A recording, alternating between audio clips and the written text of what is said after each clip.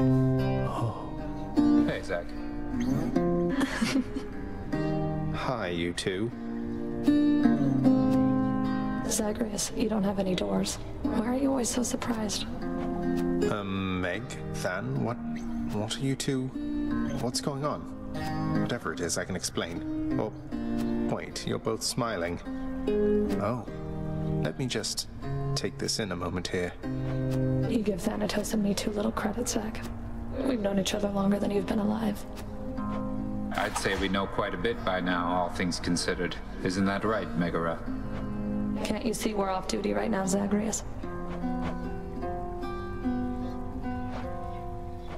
Huh, well then. If this turns out to be some sort of dream, I will be very, very mad. Though, I guess there's one good way to find out.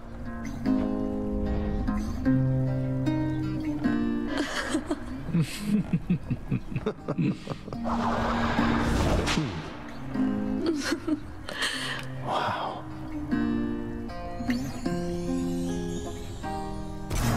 Whew, well now, um, where was I? Well, I think we've reached an understanding here. I should be off. Until the next one, Zag. And Thanatos. Zag. Well, that was. That was.